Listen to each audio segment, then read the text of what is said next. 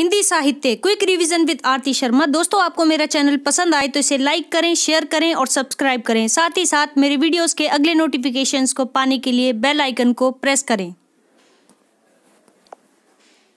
दोस्तों, हमारा आज का विषय है रीतिकालीन कवियों की महत्वपूर्ण पंक्तियाँ, जिसका पार्ट टू हम करेंगे। चलिए शुरू करते हैं प्रश्न संख्या अट्ठाईस से। तो दोस्तों, हमारी पंक्ति है अट्ठाईस। देखते हैं। ढेल सो बनाए आए मेलत सभा के बीच। ढेल सो बनाए आए मेलत सभा के बीच। लोगन कवित की वो खेल करी जान्यो है। लोगन कवित की वो खेल करी जान्यो है। मोस्ट इंपॉर्टेंट पंक्ति दोस्तों, किसकी है ये? तो दोस्तों, ठाकुर की पंक्ति है। ठाकुर की पंक्ति है ढेल सो बनाए आए मेलत सभा के बीच लोगन कवित की वो खेल करी जान्यो है। तो दोस्तों, ठाकुर की पंक्ति है मोस्ट इंपॉर्टेंट पंक्ति। पंक्ति संख्या उनतीस। ध्यान दीजिए, बतरस लालच लाल की मुरली धरी लुकाए, बतरस लालच लाल की मुरली धरी लुकाए, सोह करई बोहंस हसई। सोह करई, भौहन हसई, देन कही नटी जाए। देन कहे नटी जाए। किसकी पंक्ति है दोस्तों? तो दोस्तों, ये बिहारी लाल की पंक्ति है। बिहारी लाल की पंक्ति है। ठीक है? क्या है? बतरस लालच लाल की मुरली धरी लुकाए। सोह करई बोहन हसई। बोहन यानी ये जो आईब्रोज होती हैं वो। ठीक है? भौहन हसई, देन कहे नटी जाए। देने के लिए कहते हैं तो नट जाती है, यानी नकार देती है, यानी श्री कृष्ण की मुरली छिपाली है और अब वो देने से मना कर रही हैं। कौन? गोपियाँ। ठीक है? पंक्ति संख्या तीस। ध्यान दीजिए। सघन कुंज छाया सुखद, शीतल मंद समीर। सघन कुंज छाया सुखद, शीतल मंद समीर। मन है जात अजौ बहे। मन है जात अजौ बहे व जमुना के तीर, व जमुना के तीर। तो ये पंक्ति किसकी है? ये पंक्ति भी कवि बिहारी की है, कवि बिहारी लाल। ठीक है, याद रखिए, सघन कुंज छाया सुखद शीतल मंद समीर, मन है जात अजौ बहे व जमुना के तीर। यानी कि जमुना के किनारे बैठकर मन कैसा हो जाता है? एकदम अलग। यानी कि मंद समीर, यानी पानी के बगल में, ठीक है? तो ये बात कहाँ की हो रही है? जमुना के किनारे की बात हो रही है कि वहाँ पर बैठकर किनारे पे कैसा मन कैसा हो जाता है? मन खुशहाल हो जाता है, प्रसन्न हो जाता है, ठीक है? कुछ इस तरह का अर्थ है यहाँ पर। सघन कुंज छाया सुखद, शीतल मंद समीर, ठीक है? कितनी प्यारी पंक्ति है। पंक्ति संख्या इकतीस। ध्यान दीजिए जरा। ये जो दोहा है, ये कवि बिहारी ने जयपुर नरेश जयसिंह के ऊपर लिखा है, ठीक है? उनके शासनकाल के दौरान जो व्यवस्था थी राज व्यवस्था कैसी थी? भोग विलास में राजा लिप्त रहा करते थे तो उसी के संदर्भ में, ठीक है? तो ध्यान से सुनिए, बहुत ही इंपॉर्टेंट दोहा है बिहारी के संदर्भ में, ठीक? और किसके लिए है? राजा जयसिंह के लिए। सवाई जयसिंह, ठीक है? ध्यान रखिए, सुनिए फिर। ध्यान से नहीं पराग नहीं मधुर मधु, नहीं पराग नहीं मधुर मधु, नहीं विकास इह काल। नहीं पराग नहीं मधुर मधु, नहीं विकास इह काल। अली कली सो ही बिंदियो, अली कली सो ही बिंदियो, आगे कौन हवाल, आगे कौन हवाल। तो किसका दोहा है ये? तो कवि बिहारी का दोहा है। ठीक है, ध्यान रखिए, कवि बिहारी लाल। नहीं पराग नहीं मधुर मधु, नहीं विकास इही काल। पंक्ति संख्या बत्तीस। बैठी रही अति सघन वन पैठी सधन तन महा, देखी दोपहरी जेठ की, छाहो छहती छा, छाहो छहती छा। ठीक है, फिर से सुनिए। बैठी रही अति सघन वन पैठी सधन तन महा, दुख, देखी दोपहरी जेठ की। जेठ की दोपहरी यानी कि ये जून जुलाई का महीना, ठीक? छाहो चहती छा। ठीक है, छाहो छहती छा। किसकी पंक्ति है ये? कवि बिहारी लाल की पंक्ति है। ठीक है, ध्यान रखिए कवि बिहारी। पंक्ति संख्या तैतीस। छकी रसाल सौरभ सने। छकी रसाल सौरभ सने, मधुर माधवी गंध। ठौर ठौर झौरत झपत, भौर भौर मधु अंध। ठौर ठौर झौरत झपत, भौर भौर मधु अंध। ये पंक्ति किसकी है? तो दोस्तों, ये पंक्ति कवि बिहारी लाल की है। कवि बिहारी लाल, नाम याद रखिए। फिर से सुनिए, छकी रसाल सौरभ सने मधुर माधवी गंध, ठौर ठौर झौरत झपत भौर भौर मधु अंध। तो दोस्तों, कवि बिहारी लाल की पंक्ति है, ठीक है? पंक्ति संख्या चौंतीस। रनित भृंग घंटावली, झरती दान मधुनीर, मंद मंद आवत चल्यो, कुंजर कुंजर समीर। मंद मंद आवत चल्यो, कुंजर कुंज समीर। ये किसकी पंक्ति है? तो दोस्तों, ये भी बिहारी की पंक्ति है। कवि बिहारी लाल। फिर से सुनिए, रनित भृंग घंटावली, झरती दान मधुनीर, मंद मंद आवत चल्यो, कुंजर कुंज समीर। पंक्ति संख्या पैंतीस। ध्यान से सुनिए इत आवती चली जात उत। इत आवती चली जात उत, चली छह सातक हाथ, चली छह सातक सात। यानी ये सातक हाथ, ये किसकी पंक्ति है? तो दोस्तों, ये भी कवि बिहारी लाल की पंक्ति है। ये गोपी के लिए कह रहे हैं, राधा के लिए, कि नायिका का शरीर जो है ना, वो इतना पतला है कि ऐसा लगता है जैसे कि वो इधर आती है और उधर चली जाती है। मतलब कब आती है, कब जाती है, पता ही नहीं चलता। है ना? हवा की तरह मतलब उड़ जाती है। इस तरह से कुछ अर्थ है। चली सह छह छः सातक हाथ। ऐसा लगता है कि छः सात कोस दूर तक उड़ी चली गई है। ठीक है तो एक तरह से व्यंग्य कस रहे हैं। तो कवि बिहारी की पंक्ति है, इत आवती चली जात उत, चली छह सातक हाथ। ठीक। अगली पंक्ति है, छत्तीस। वेद में बखानी तीन लोकन को ठुकरानी। वेद में बखानी तीन लोकन को ठुकरानी, ये किसकी पंक्ति है? तो दोस्तों, ये सेनापति की पंक्ति है। कवि सेनापति की पंक्ति है। वेद में बखानी तीन लोकन को ठुकरानी, ठीक है? कुछ कुछ ऐसा अर्थ है कि वेद में जिनका बखान हुआ है, तीनों लोकों में उसी को ठुकराया गया है। ठीक है कुछ कुछ ऐसा अर्थ है। तो सेनापति की पंक्ति है, वेद में बखानी तीन लोकन को ठुकरानी। ठीक है? अगली पंक्ति है सैतीस। ध्यान दीजिए। बनन में बागन में बगरियो बसंत है। बनन में बागन में बगरियो बसंत है। ये किसकी पंक्ति है? तो कवि सेनापति की पंक्ति है। ठीक है, फिर से सुनिए। बनन में, बागन में बगरेयो बसंत है। ठीक है अनुप्रास अलंकार है। बनन में, बागन में बगरेयो बसंत है। ये पंक्ति सेनापति की, कवि सेनापति की पंक्ति। अगली पंक्ति है अड़तीस। तेरे नैन मेरे मन के खिलौना, तेरे नैन मेरे मन के खिलौना है। ठीक है, क्या है? तेरे नैन मेरे मन के खिलौना, कवि सेनापति। सेनापति की पंक्ति है ठीक है, अगली पंक्ति है उनतालीस। अगली पंक्ति है उनतालीस। ध्यान से सुनिए।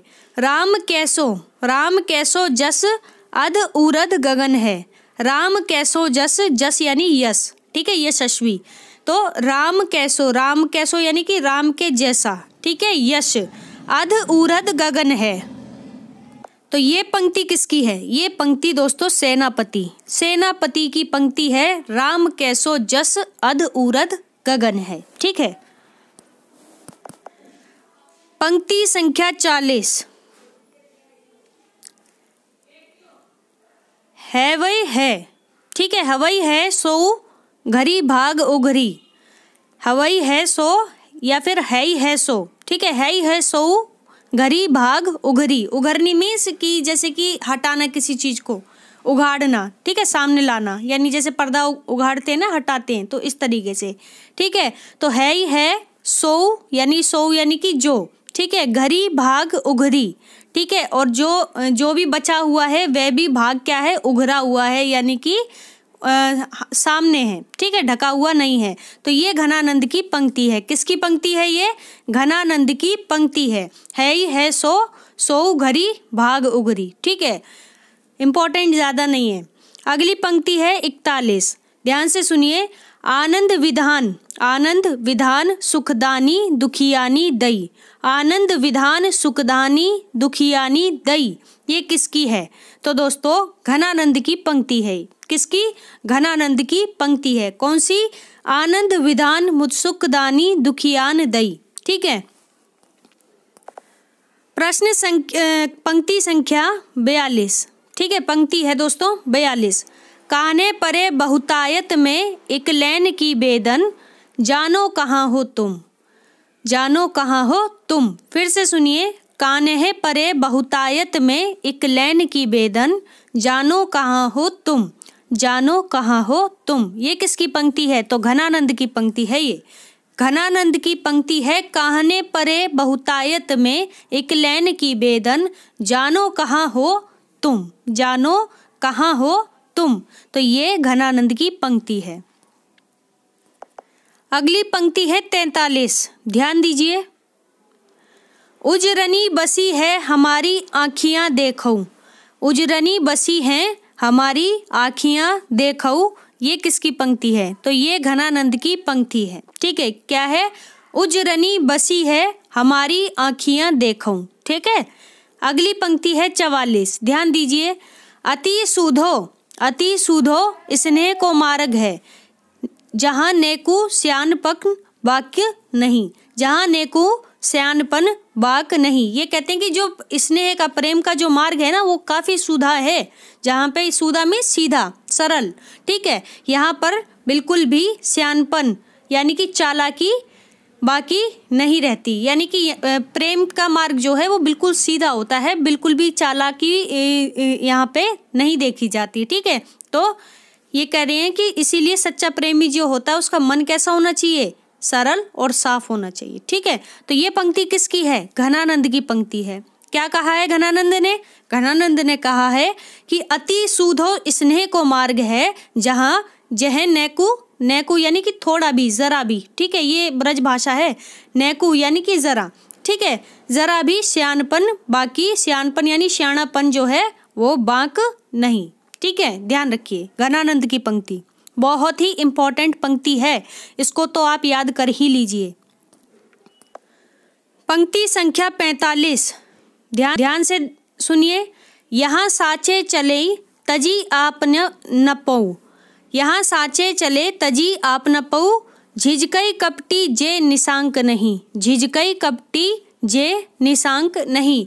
यहाँ साचे चलई ये कह रहे हैं कि हम जो है ना हम तो एकदम साचे चले हैं, यानी सच्चे हैं। तजी आप न पऊ। और अपना तेरा तो हमने क्या है कि तज ही दिया है, यानी त्याग दिया है। ठीक है? झिझकई कपटी। कपटी जो होते हैं, वही झिझकते हैं। जे निशांक नहीं। ठीक है? जे निशांक नहीं। यानी कि इसका अर्थ थोड़ा सा समझने में दिक्कत है। तो झिझकई कपटी। कपटी जो है, वो झिझकते हैं। ठीक है? जे निशांक नहीं। और हम हैं क्या है कि हम सच्चे प्रेमी हैं तो कुछ इस तरह से अर्थ लगाइए कि जहाँ पर ये सब ज़रा भी नहीं है। ठीक? तो यहाँ, सांचे चलई तजी आप न पऊ झिझकई कपटी, जे निशांक नहीं। ठीक है? तो अर्थ आप अपनी पुस्तकों से भी देख सकते हैं, जो इसका एग्जैक्टली जो अर्थ है, आप किताबों से भी देख लें। ठीक है? मैं जो बता रही हूँ, सिर्फ़ पंक्तियों के आधार पर जो मुझे चीज़ें समझ में आ रही हैं, मैं उस आधार पर आपको बता रही हूँ। ठीक है? तो देखते हैं अगली पंक्तियाँ। पंक्ति संख्या छियालीस। लोग हैं लागी कवित बनावत मोहित तो मोरे कवित बनावत। फिर से सुनिए, कितनी प्यारी पंक्ति है। लोग हैं लागी कवित बनावत मोहित तो मोरे कवित बनावत। यानी जो लोग हैं, वो तो कविता बनाने में ही लगे रहते हैं सारा दिन, ठीक है? लेकिन मुझे तो मेरी कविता ही बनाती है। कितनी प्यारी पंक्ति कही है घनानंद ने अपने संदर्भ में। फिर से सुनिए, लोग हैं लागी कवित बनावत, मोही तो मोरे कवित बनावत। ठीक है? तो घनानंद की है और बेहद इंपॉर्टेंट पंक्ति है दोस्तों, इसको तो आप याद कर ही लीजिए। जब भी घनानंद की बात आती है तो ये पंक्तियाँ तो सबसे पहले आती हैं। ठीक है? पंक्ति संख्या सैतालीस। ध्यान से सुनिए। समुझई कविता घनानंद की हिये आखिन नेह की पीर तकी। समुझई कविता घनानंद की, हिये आँखें नेह की पीर तकी। यानी कवि, घनानंद की कविताएँ वही समझ सकता है जिसने अपनी हृदय से, अपनी आँखों से, ठीक है स्नेह की प्रेम की पीड़ा को समझा है, महसूस किया है। ठीक है, वही है केवल घनानंद की पीड़ा को भी समझ सकता है। ठीक है तो ध्यान से समझिए समुझई कविता घनानंद की, ये आखिन ने की पीर तकी। तो किसकी पंक्ति है? घनानंद की पंक्ति है। याद रखिए। अगली पंक्ति है अड़तालीस। बिछुरे मिलई मीन पतंग दशा। बिछुरई मिलई मीन पतंग दशा। कहाँ मो जिए गति को पर से? कहाँ मो जिए गति को परसई ठीक है, जैसे बिछुरई, मिलई, मीन पतंग दशा। मीन पतंग यानी कि मछली जैसे पानी से बिछड़कर जब पानी में वापस उसे मिलाया जाता है तो उसकी तड़प जैसे कम होती है ना? या फिर पानी के बिना जो मछली तड़पती है कुछ कुछ घनानंद की, प्रेम की पीड़ा भी इसी तरह की है। ठीक है? तो वही वो कह रहे हैं कि कहाँ मोह गति मोह जिए गति को परसई। ठीक है? और मैं अपने हृदय की गति मतलब मैं अपने हृदय की पीड़ा को किसको दिखाऊँ? ठीक है? कुछ इस तरह से है। तो मेरी जो हृदय की पीड़ा है, उस मछली के समान है, जो कि पानी से अलग हो जाती है। ठीक है? और पानी ही जबकि मछली का जीवन होता है। तो मैं कैसा जीवन जी रहा हूँ? मैं जीवन ही नहीं जी रहा हूँ। ठीक है? तो कुछ इस तरह से है। घनानंद की पंक्ति है दोस्तों। पंक्ति संख्या उनचास। मोही तुम एक, मोही तुम एक तुम हई मौसम अनेक आही। मोही तुम एक तुम हई मौसम अनेक आही, कहा कछु चंदई कहा कछु चंदई चकोरन की कमी है, कहा कछु चंदई चकोरन की कमी है। ये किसकी पंक्ति है? तो दोस्तों, घनानंद की। घनानंद की पंक्ति है, मोही तुम एक तुम्हई मौसम अनेक आही, कहा कछु चंदई चकोरन की कमी है। कहा, कछु चंदई चकोरन की कमी है। ठीक है, याद रखिए। पंक्ति संख्या पचास। कंत रमय और अंतर में सुलह नहीं क्यों सुख राशि निरंतर? कंत रमय और अंतर में जो कंत हैं, यानी कि जो इनकी प्रेमिका हैं, वो उर में, यानी कि हृदय के अंतर में वास करती हैं। ठीक है? सुलह नहीं क्यों सुख राशि निरंतर? सुलह नहीं क्यों सुख राशि निरंतर। तो ये पंक्ति किसकी है? ये पंक्ति भी घनानंद की है। कंत रमे और अंतर में सुलई नहीं, क्यों? सुख राशि निरंतर। घनानंद की पंक्ति है, ठीक है? याद रखिए। पंक्ति संख्या इक्यावन। दे दही, ना रही सुधी गेह की, भली हूँ नेह को, नाम न लीजे। नाम न लीजई। घनानंद की पंक्ति है, दोस्तों, ध्यान से सुनिएगा। देह दही, ना रही सुधी गेह की। यानी देह भी त्याग दी एक तरह से, और ना तो मुझे अपने गेह की। यानी कि ना तो देह का ही ख्याल है, ना ही घर का ख्याल है, गेह का। यानी घर का ही सुधी। सुधी मीन्स ख्याल, ध्यान, ठीक है? तो देह दई ना रही सुधी गेह की, भूली हूँ नेह को। नाम ना लीजिए, और भूली हूँ नेह को। मैं तो अब अपने स्नेह को ही भूल चुका हूँ, अब उसका नाम मत लीजिए। यानी कि सब कुछ भूल चुका हूँ मैं तो। मैं तो अपने प्रेम को भी भूल चुका हूँ। ठीक है, कुछ इस तरह का अर्थ है घनानंद का कि मेरी ये दशा है। अब मैं क्या बताऊँ कि मैं किस पीड़ा से गुजर रहा हूँ। ठीक है, ये घनानंद की पंक्ति है। देह दही ना रही सुधी गे की, भूली हूँ नेह को नाम ना लीजिए। ठीक है? पंक्ति संख्या बावन। और इस वीडियो की अंतिम पंक्ति, ठीक है? भाषा पर अचूक अधिकार, जैसा इनका था, वैसा और किसी कवि का नहीं। फिर से सुनिए। भाषा पर अचूक अधिकार, जैसा इनका था, वैसा और किसी कवि का नहीं। घनानंद के विषय में यह पंक्ति किसकी है? तो दोस्तों, घनानंद के विषय में यह पंक्ति आचार्य रामचंद्र शुक्ल की है। किसकी? आचार्य रामचंद्र शुक्ल की। क्या है पंक्ति? एक बार और सुन लीजिए। भाषा पर अचूक अधिकार जैसा इनका था, वैसा और किसी कवि का नहीं। ठीक है, ये बहुत बड़ी बात है। ठीक है तो भाषा के संदर्भ में है और बहुत ही इम्पोर्टेंट है और घनानंद के लिए है और किसकी पंक्ति है? रामचंद्र शुक्ल की पंक्ति है। ठीक है दोस्तों? तो दोस्तों, हमारा आज का वीडियो यहीं समाप्त होता है। थैंक्स फॉर वॉचिंग अगर आपको मेरे वीडियोस पसंद आ रहे हैं तो इन्हें लाइक करें शेयर करें, मेरे चैनल को सब्सक्राइब करें और मेरे अगले वीडियोस के नोटिफिकेशंस को पाने के लिए बेल आइकन को प्रेस करें। धन्यवाद दोस्तों।